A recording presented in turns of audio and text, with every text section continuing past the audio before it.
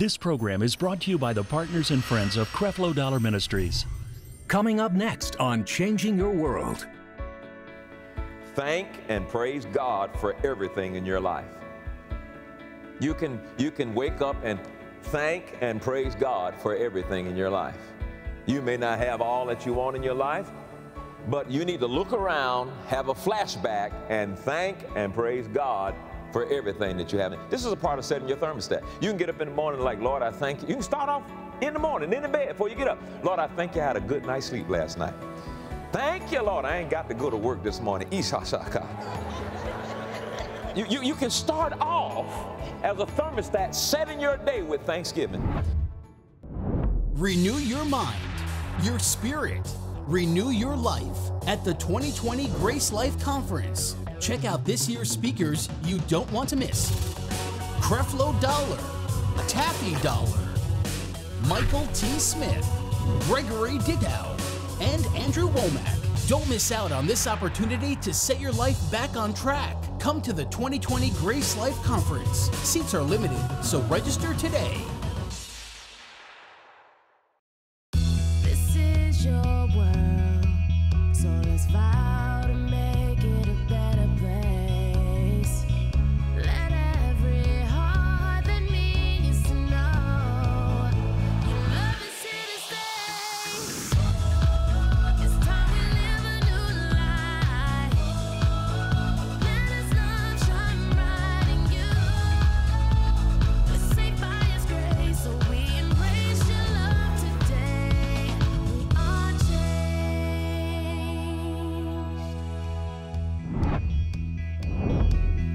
Have your Bibles, go with me to the book of First Thessalonians chapter 5. Uh, I want to start reading at verse 16 through 18. And I want to read out of the King James and the New Living Translation. And tonight I want to teach uh, just in line with what we've been talking about. We've been talking about overcoming uh, negative emotions, and I want to talk about overcoming negative emotions with Thanksgiving. And I want to show you how powerful Thanksgiving can be in overcoming those negative emotions that you are going to be challenged with. So I want you to read this out loud uh, with me, and uh, let's begin in uh, verse 16 and read through verse 18, and then uh, read the New Living Translation. And then I'll tell you what we're gonna, how we're going to deal with this. Uh, verse 16, he says, "Rejoice evermore, pray without ceasing." In everything, give thanks, for this is the will of God in Christ Jesus. Now, I want you to focus in, of course, he says, rejoice and pray and give thanks. Rejoice, pray, and give thanks. Now, why, why would this advice come in everything? So, no matter what you're in, in good times, in bad times, when you're up, when you're down, he said, this is the prescription for life in everything, give thanks. Why would he make this? And so you see this colon here, and he says, For you giving thanks in everything is the will of God concerning you. You giving thanks in hard time is the will of God. You giving thanks in good time is the will of God. You giving thanks in the middle of uh, tragic times, it's the will of God. Now, don't misunderstand this. He's not saying give thanks to God for bad things that happen. See, we, it's easy for us to give thanks to God for good things that happen. But now he says, in everything, whether it is in a good thing or in a bad thing, the will of God is give thanks in everything. That is the will of God concerning you. Now, how many of you know God is the most purposeful being around? And if He tells you to give thanks in everything, there is an absolute purpose for doing that. There is a reason for doing that. Now, I said to you before that circumstances, some of those circumstances, Satan uses it to stir up negative emotions to try to move you from the will of God for your life. Now, let's look at verse 18 in the New Living Translation. In everything, give thanks in everything, not for everything, but in everything, give thanks.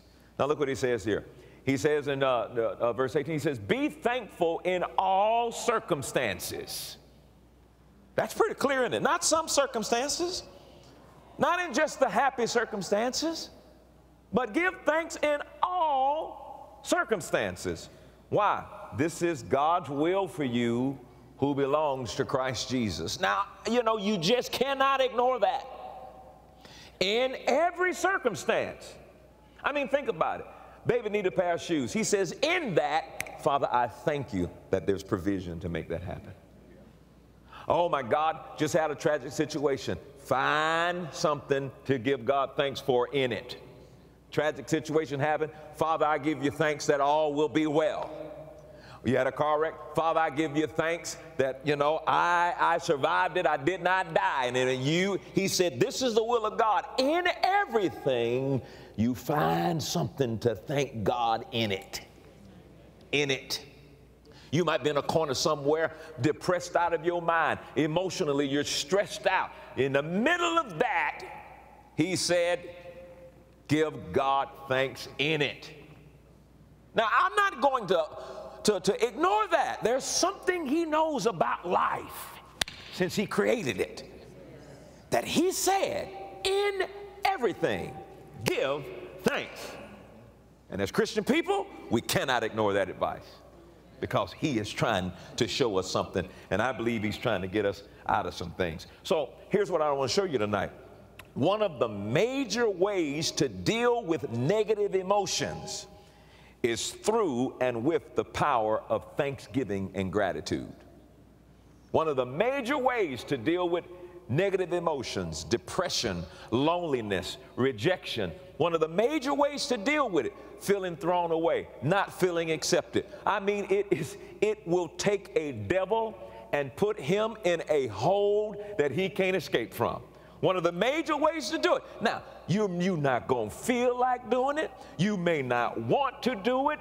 That, but there is an authority that God has put on giving thanks to Him, especially when it goes against and contradicts how you feel if you want to absolutely get victory over negative emotions, if you will begin to employ thanksgiving and gratitude, a gracious, grateful heart and attitude, if you begin to do this, you'll overcome those negative emotions. In everything, give thanks. Well, look at Philippians chapter 4. Uh, verses 6 through 7. What about when you're worrying? I'm not saying that you won't get worried. I'm not saying that you won't feel lonely.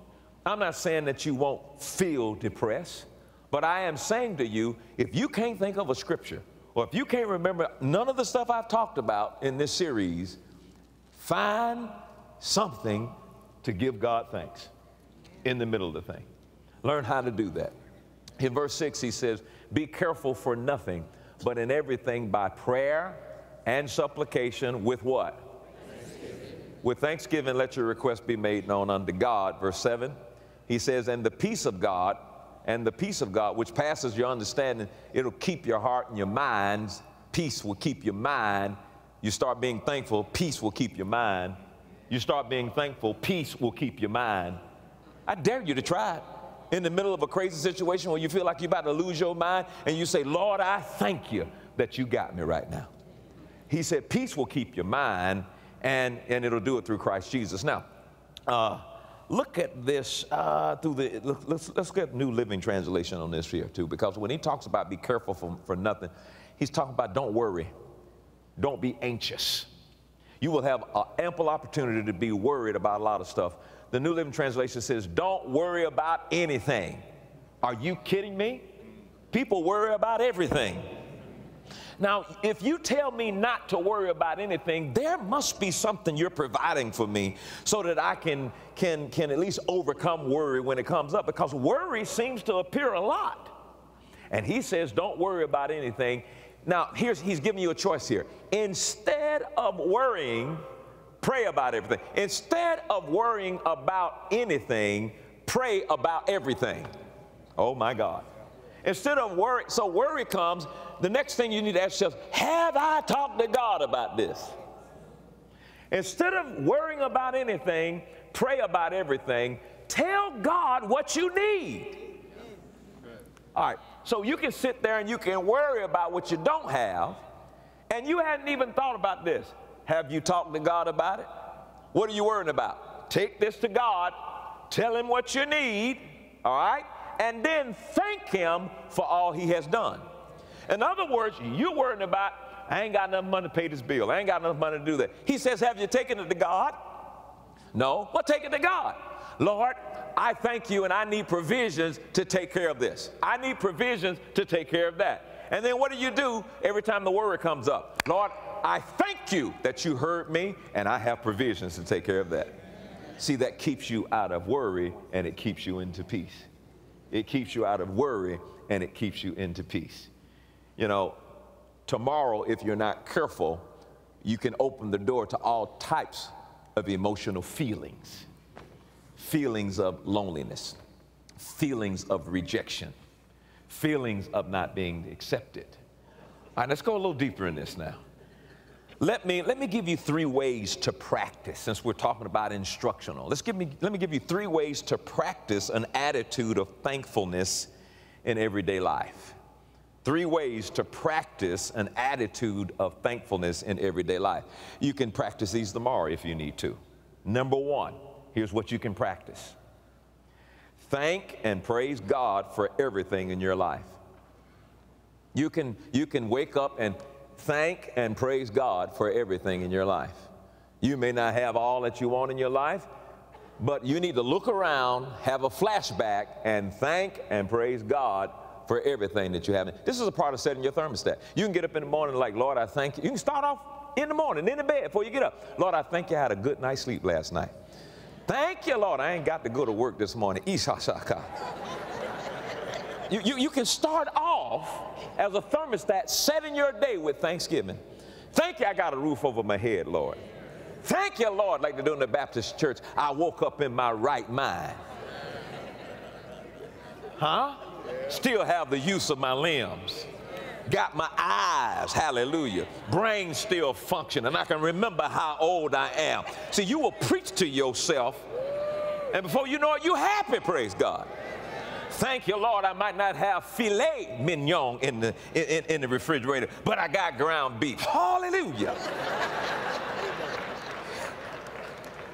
You've got to make a decision to practically thank and praise God for everything in your life. Look at Hebrews chapter 13, verse 15. To thank and praise God for everything that you have in your life. These are practical things where you can do this. Hebrews 13, 15 says, By him, therefore, let us offer the sacrifice of praise to God continually. That is, with the fruit of our lips, giving thanks to him. So we're not talking about you, you know, thinking of the Thanksgiving. He, he's talking about opening your mouth. Open your mouth, whether you're around somebody or not. Open your mouth walk around your house. Thank you, Lord. I got, I got chairs. Thank you, Jesus. I got light bulbs. Walk outside. Lord, look at how what you. Thank you, Lord. You give Him thanks with your mouth, and watch your mouth thanksgiving eradicate those negative emotions that try to run your day. You open your mouth. Or turn your neighbor and say, open your mouth, and give God thanks. Amen. So here's the second way you can practice an attitude of thankfulness in, in your everyday life. Don't allow yourself to complain about anything. Don't allow yourself to complain about anything. Wake up tomorrow and, and, and set yourself. How do you do that? The first thing you say to yourself tomorrow is, tonight, oh, right now, watch your mouth. Turn your name and say, watch your mouth. Watch your mouth. That'll get you in trouble always. Watch your mouth. Sometimes I'm getting ready to say it. I say, don't say it, don't say it. I say, you know what I'm gonna say? I got an idea, don't say it. you can practice Thanksgiving by watching your mouth and don't complain about anything. Don't complain about, I'm challenging you right now. Don't complain about anything. I don't care what you have planned for tomorrow or don't have planned for tomorrow. Don't complain about anything. Well, y'all just don't understand. See, y'all might not, y'all might be able to afford a turkey, but I can't afford nothing but bologna. Don't complain. Get you some butter, fry that bologna up. You know, it could, it could be good now. You know, I remember them days. If you do it right, the bologna will be good. It'll bless you. Get that bologna, get some light bread, some mustard, stick some tomatoes on top of that thing, shut your mouth now. Get some Pringles tater chip to go with that thing. The bologna can bless you now. You just got to know how to work it. Don't complain about anything. Don't complain about it. Some of y'all, somebody got a taste for some bologna right now. Praise the Lord.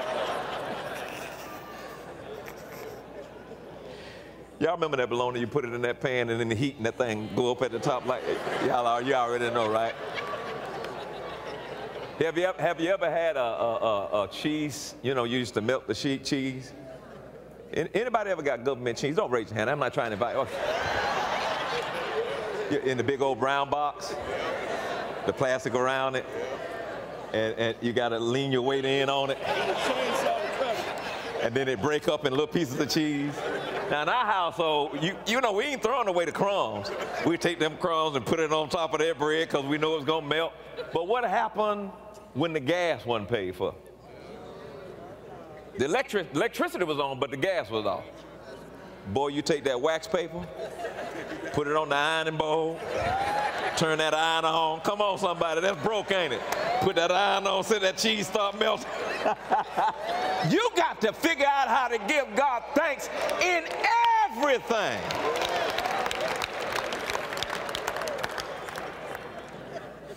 Number three, don't compare yourself with others. This is practically how to have an attitude of thankfulness. Don't compare yourself with others. Don't wish that your life was different. Don't wish that your life, don't, don't even do that.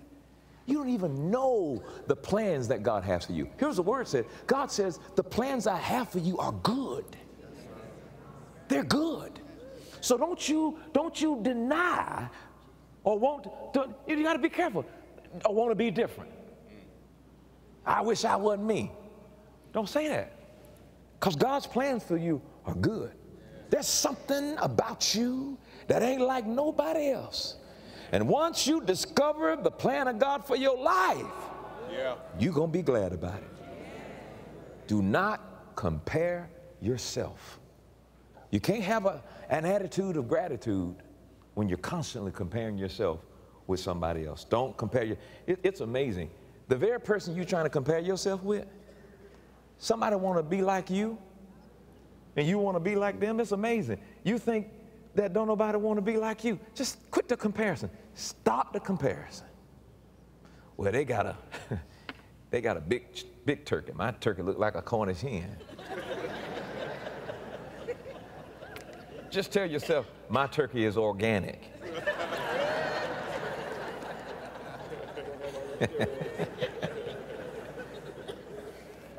now, I believe that these three points can put you to a place of contentment. Let me, let me look at uh, 1 Timothy chapter 6 and 6. He says, But godliness with contentment is great gain. What does it mean to be content? It's a mind that's at ease, the ease of mind, contentment, this place of satisfaction, contentment, an ease of mind.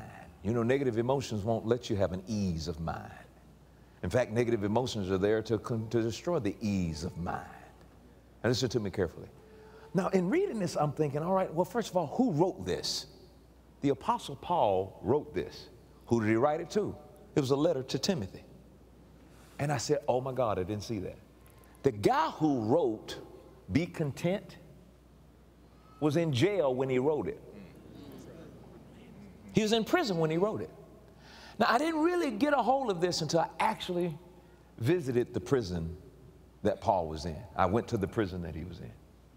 And we walked in the, it was,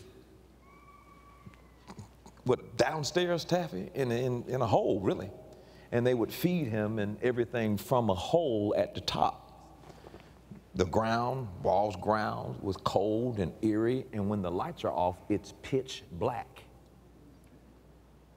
The guy who said, Be content, be ease, have an ease of mind, was in a dark prison waiting to be uh, killed.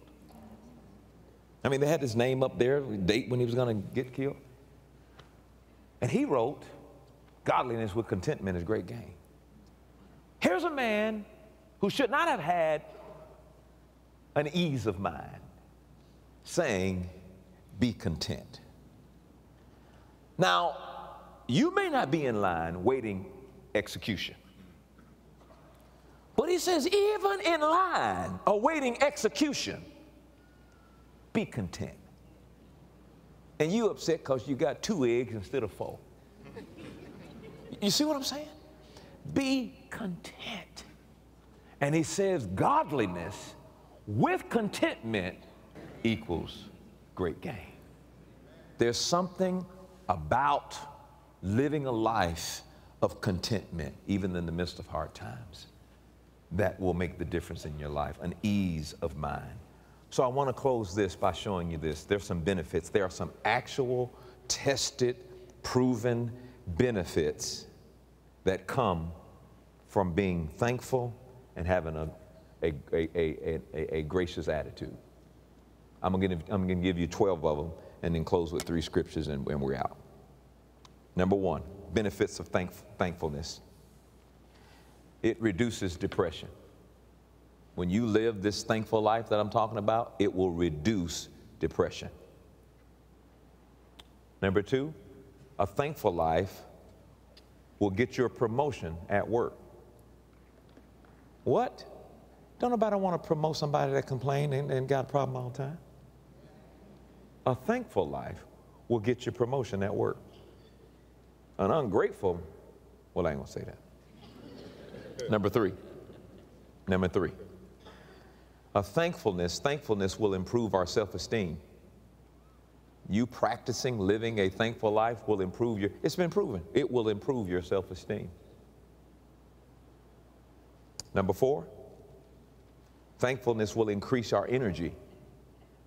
I tell you what, when you start walking around and living a thankful life, man, you, you'll, you'll, you'll improve your energy. Number five, you know, being thankful will help you to develop a strong immunity system. Being thankful will help you. That attitude, that diseasement, being thankful will help you to develop strong immunity. Been proven. Number six, being thankful will decrease blood pressure. I'm on blood pressure medicine. I, I think you just need to be a little bit more thankful.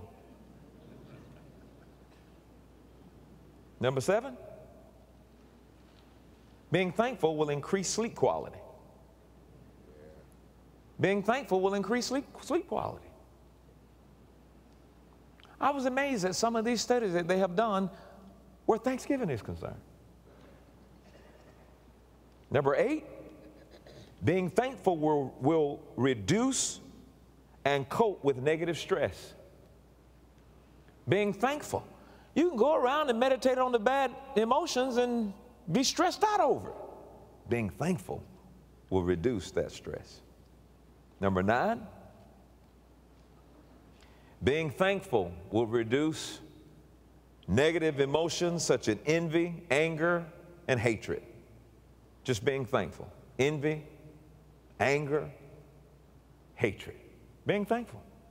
I don't know who you I don't know who you got coming over your house tomorrow. You might have somebody coming over your house you don't like. And they some kin to you. Start the night being thankful. And you can greet them with a holy hug tomorrow.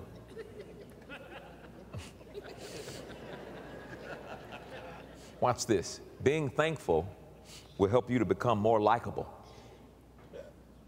People like thankful folks. Being thankful will make you become more likable. Number 11, Being thankful will increase feelings of happiness and well being. Just being thankful. The feelings will be something that'll be under, those negative feelings will be under attack by being thankful. And then number 12, being thankful will increase productivity in your life. Being thankful will increase productivity in your life. Isn't that amazing? See, God is saying His will for our lives is to practice thanksgiving. In a world full of uncertainty and in the midst of unprecedented global events, the pressures of life can be overwhelming and lead to internal depression. But Christ has called us to overcome and win our internal and external battles. That's why we have designed a series just for you. You don't have to choose depression. You can choose your authority over depression and use your faith to defeat it and keep it out of your life. When you know how to properly divide the word, you know how to properly use the word. During these challenging times, boost your faith and fight the good fight against depression, anxiety, and fear with the five message series Delivered from Depression for just $30. Also available in this one time offer is the Delivered from Depression series bundled with the powerful classic book, Winning in Troubled Times. Receive this $50 power pack for just 40 US dollars. Call today or visit the website on the screen to order. Renew your mind, your spirit, renew your life at the 2020 Grace Life Conference. Check out this year's speakers you don't want to miss Creflo Dollar, You got to have your own relationship with Jesus. Taffi Dollar, I receive the gift of grace. Michael T. Smith, Let me give you news. You are not in the flesh. Gregory Dickow, It's the equalizer of every human being. and Andrew Wommack. being sensitive to the Lord can change your life. Your life will never be the same again. It changed your mind, heart open. It's just life changing experience. Can't miss it. Don't miss out on this opportunity to set your life back on track. Come to the 2020 Grace Life Conference at the World Dome in College Park, Georgia, July 6th through the 10th. Register by texting Grace Life to 51555 or visiting CrefloDollarMinistries.org. Seats are limited, so register today. Folks, by the grace of God, we feed and clothe people, provide houses, visit hospitals and prisons, and do so, so much more. Every time you make a financial donation to support us, you do these things as well. The tangible relief we provide to God's precious people is only possible because of your faithful support.